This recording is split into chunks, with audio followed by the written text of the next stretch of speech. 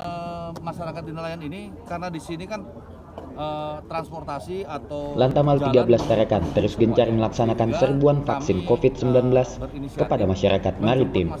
Pada Selasa 6 Juli lalu, sejumlah nelayan dan masyarakat pesisir yang berada di Tanjung Pasir menjadi sasaran vaksinasi. Komandan Pangkalan Utama Angkatan Laut 13 Tarakan Laksamana Pertama Edi Krisnamurti mengatakan, sebanyak 200 dosis vaksin disediakan dalam vaksinasi tersebut.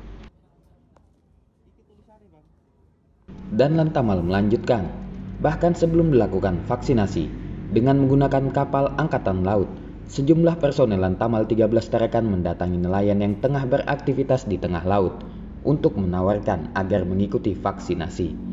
Ada beberapa nelayan yang langsung menerima tawaran tersebut, namun ada juga yang masih enggan untuk divaksin.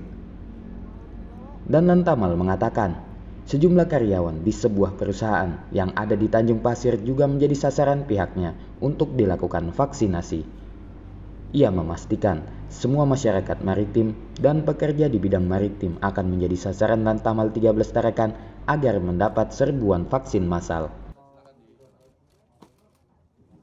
Uh, masyarakat di nelayan ini karena di sini kan uh, transportasi atau jalan belum terhubung semuanya sehingga kami uh, berinisiatif menjemput masyarakat-masyarakat yang tidak bisa terjangkau oleh kendaraan di darat.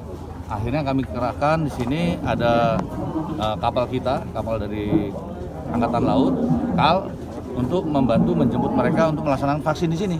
Seperti itu. Eliazar Simon melaporkan.